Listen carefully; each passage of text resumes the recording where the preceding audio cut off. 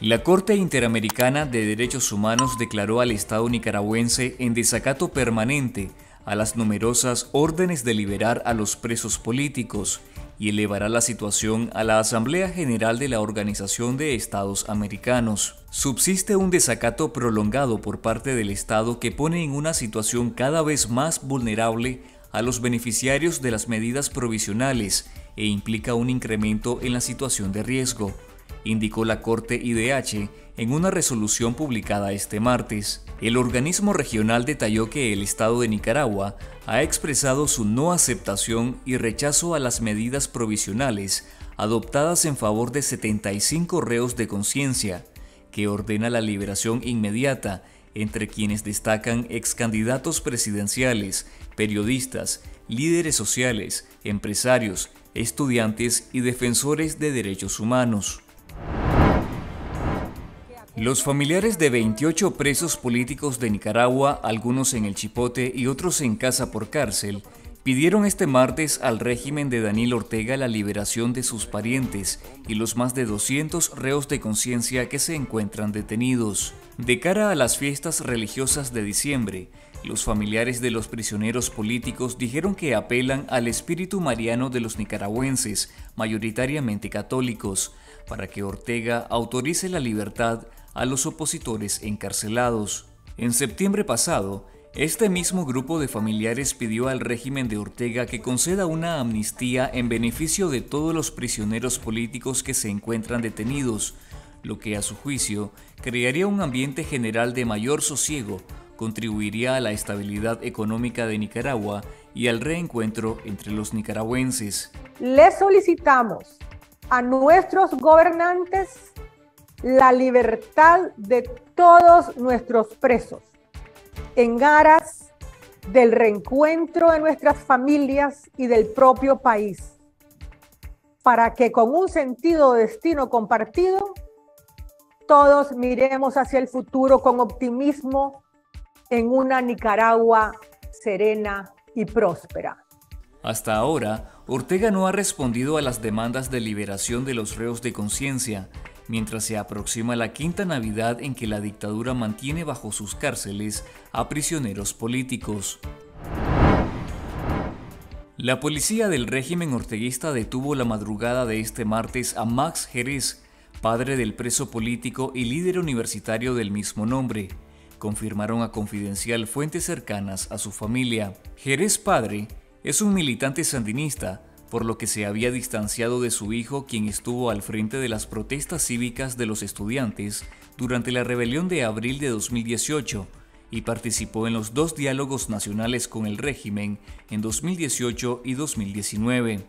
Hasta el momento, la policía ni ninguna autoridad ha informado de la detención de Jerez, quien hasta el cierre de esta edición se conocía que se encontraba detenido en el Distrito 5 de Policía en Managua.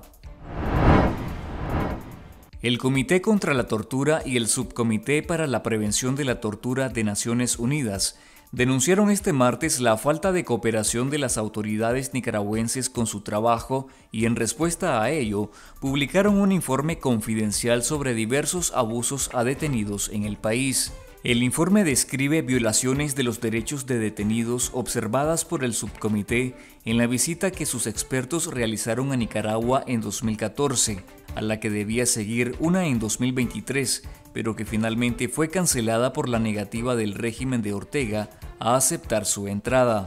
El informe denuncia el uso de la tortura como método disciplinario en el país, como confinamientos, golpizas o violaciones sexuales. Ambos órganos recordaron que Nicaragua ratificó la Convención contra la Tortura en 2005 y su protocolo facultativo en 2009, por lo que el Estado se comprometió a establecer un mecanismo nacional de prevención independiente y permitir las visitas de supervisión a centros de detención por parte del subcomité.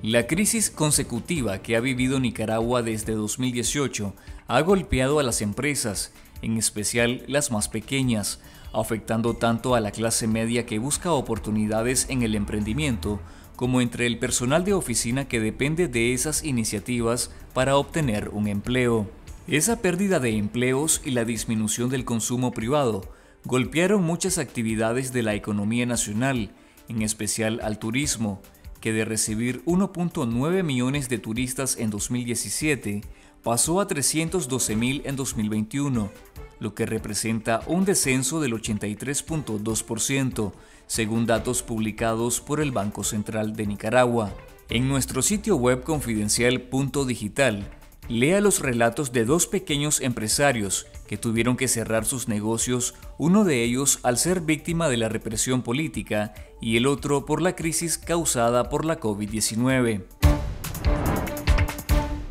En nuestro canal de YouTube Confidencial Nica, te recomendamos la entrevista con el cantante y compositor nicaragüense Hernaldo Zúñiga con Carlos Fernando Chamorro, quien habló de sus 42 años de trayectoria musical y el dolor que le produce la crisis sociopolítica de Nicaragua.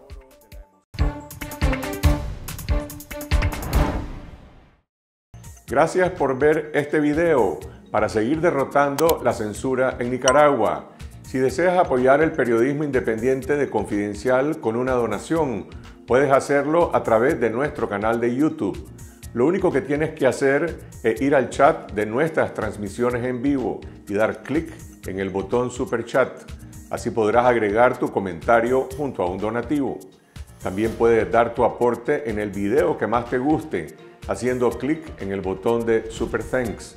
ubicado en la barra inferior de todos nuestros videos. Con tu apoyo seguiremos investigando y contando la verdad para informar a nuestras audiencias.